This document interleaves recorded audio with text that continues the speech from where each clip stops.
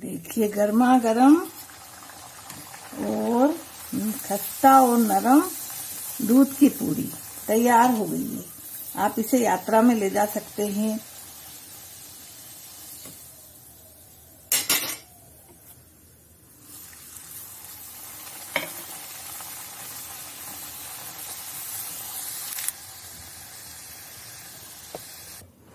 ये देखिए, हमारी गर्मा गर्म, नरमा नरम और खस्ता दूध की पूड़ी तैयार है। तो चलिए अब बनाते हैं हम दूध की पूड़ी।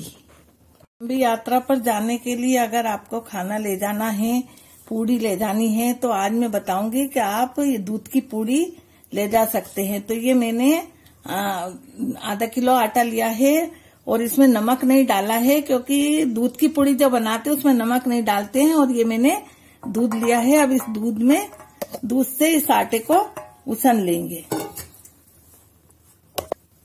ये दूध की पूड़ी बनाना बहुत आसान है और ये खाने में अच्छी लगती है। यात्रा में अगर आप ले जा रहे हैं तो दो तीन दिन तक ये खराब भी नहीं होगी और ये अच्छी खस्ता बनी रहेगी पूड़ी। अब थोड़ा थोड़ा दूध डाल के हम इसका डो बना रहे हैं। ये हमारा डो तैयार है और इसको उसनने में केवल 250 ग्राम दूध लगा है। और मैंने घी थोड़ा सा हाथ में लेके और इस आटे को मठार लेंगे। ये देखिए, हमारा आटा बहुत अच्छे से तैयार हुआ है और ये दूध की पूड़ी बनाना बहुत आसान है और जो हम सादी पूड़ी बनाते हैं, उससे भी ज़्यादा अच्छी खस्ता बनती है ये और खाने में भी हेल्दी रहती है। आप अगर पूड़ी ना खाना चाहे तो आप इसकी रोटी भी बना सकते हैं। और मैंने यहाँ पर घी गरम होने के लिए रख दिया है। जब ये तेज गरम हो जाएगा, तब हम पूड़ी को फ्राई करेंगे। अब हमारा ये घी गरम हो रहा है। तब तक हम पूड़ी बेल लेते हैं। और पूड़ी बेलने का ये तरीका है कि इसको किनार पे से बेलना चाहिए। बीच का हिस्सा मोटा होना चाहिए तो पूरी अच्छी फूलेगी। ये देखिए। अच्छी गोल गोल पूरी और ये हमारा आटा भी अच्छा उसनाया है।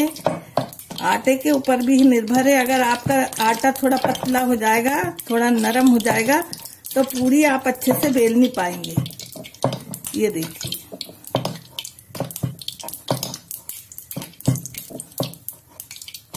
जिनको पूरी बेलना नहीं आती, वो इस तरह से देख के सीख सकते हैं पूरी बेलना। घी अच्छा तेज गरम हो गया है। अब हम इसमें पूरी निकाल रहे हैं। आप चाहे तो तेल में भी निकाल सकते हैं, पर ये दूध की पूरी जो है, वो घी में ज़्यादा अच्छी लगती है। ये देखिए, हमारी पूरी कितनी अच्छी फूल गई है।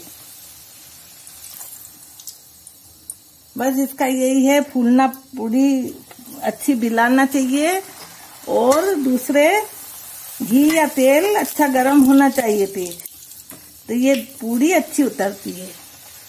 और इसकी रोटी भी अच्छी बनती है दूध वाले आटे की। आप रोटी भी बना सकते हैं इसकी। नमस्कार, वंदना जोशी चैनल पर आपका स्वागत है। आज मैं बना रही हूँ दूध की पूड़ी। तो ये दूध वाली पूड़ी आप बनाइए। ये हेल्दी भी है और टेस्टी भी लगती है। अब ये हमारी दूध की पूड़ी तैयार है।